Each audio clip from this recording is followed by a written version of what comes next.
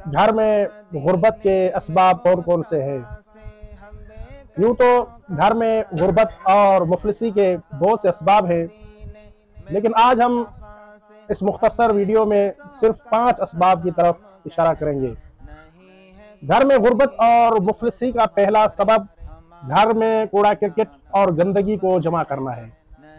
अगर कोई शख्स अपने घर में गंदगी को जमा करता है और एक कोने में रख देता है और उसे उठाता नहीं है, बाहर नहीं फेंकता। तो ये चीज़ घर में गुर्बत और मुफलसी का बायस बनती है और इससे इंसान के घर में गुर्बत आ जाती है। और दूसरी चीज़ है, सुबह सूरज निकलने तक सोते रहना। इंसान को चाहिए कि सुबह सूरज निकलने से पहले पहले उठे और उठकर नमाज़ सुबह अदा करे, कुरान मजीद की तिलावत करे और ताकीबात नमाज़ पढ़े।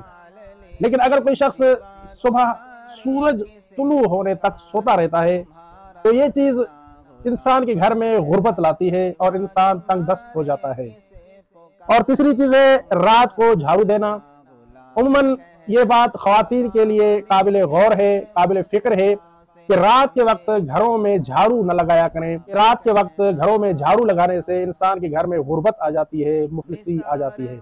अगर आप अपने घर से गुर्बत और मुफलसी को दूर करना चाहते हैं तो रात के वक्त कभी भी घर में झाड़ू न लगाया करें। और चौथी चीज़, कब्रस्तान में हंसना। कब्रस्तान इबरत की जगह है। इंसान को चाहिए कि कब्रस्तान में जाए और इबरत हासिल करे।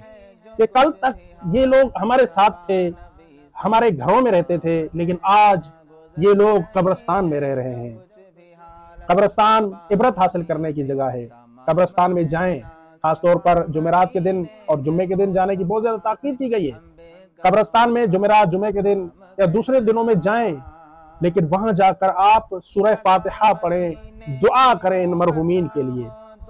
लेकिन अगर कोई शख्स कब्रस्तान में जाता है और कब्रस्तान में जाकर खुदा न खास्ता हंसता है तो ये चीज़ उसके घर में मुफलसी का बायस बन जाती है।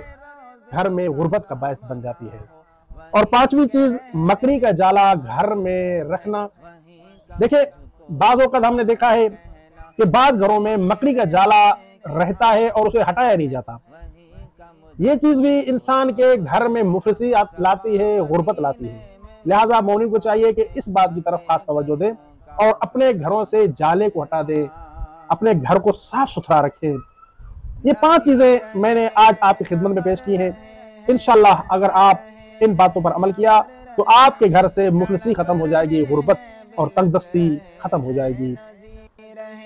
अगर हमारी ये वीडियो आपके लिए हेल्पफुल रही है तो हमारे चैनल को सब्सक्राइब कर लें और वीडियो को लाइक भी कर लें, ताकि हमें इस जैसी और वीडियो बनाने के लिए मोटिवेशन मिल सके।